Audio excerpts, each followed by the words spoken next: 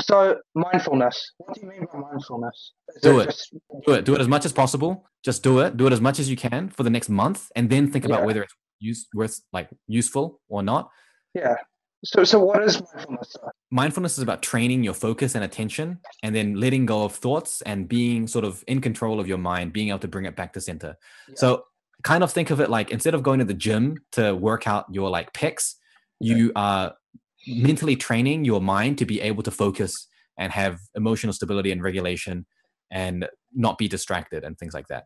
I think I have quite a big issue with that because I always worry about things. And as a kind of 20 minutes of mindfulness minimum per day, every single day, nonstop, one month at least. So just having more control over what's going on in my head. Yeah, I recommend look at Calm, either the app or their YouTube channel. Yeah, I look think so. Calm and just use their guided meditation. Keep doing that. That's going to be a yeah. huge benefit to you. I promise, guarantee you, it's gonna yeah. it's gonna be life changing if you. So C A L M, right? Just calm. C A L M. Okay, so um, because a lot of the times I kind of use the mindset as I'm like, you know, I tried my best, like kind of like that. Sometimes, but I don't know. Like most of the time at night, like if I didn't finish this or didn't finish that, I, I know that I tried my best and I used every single minute of the day. And yeah, yeah, okay, I'll have a look at that. Um, yeah. Notes, we talked about that. Um, and you mentioned about, you know, 60% of energy, 100%, like 20%, and you want to make it like, you want to get it to like maybe 60 and then not, not go to the end, but then have a quick break and then do it like that. Correct. Um, is, so what's, what's that little curve? I've heard something about like the study efficiency curve, if you know what I mean. Like, you, man, everyone's just kind of different. Like, like yeah. basically, you, you can study for two hours no breaks, really efficient. After that um, break, get back into it again.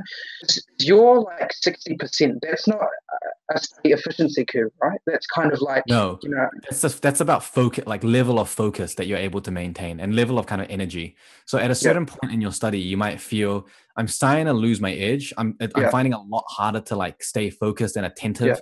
and be asking lots of questions.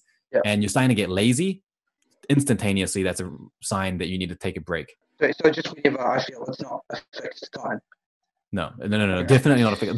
Definitely not for any anything you read or see or hear ever about fixed times is not mm. correct. Okay. Uh, time, if um, a difference between time management and planning. Planning is more important. Prioritization is more important. Time management is far, far, far I later. Watched, I've got a video watched, about.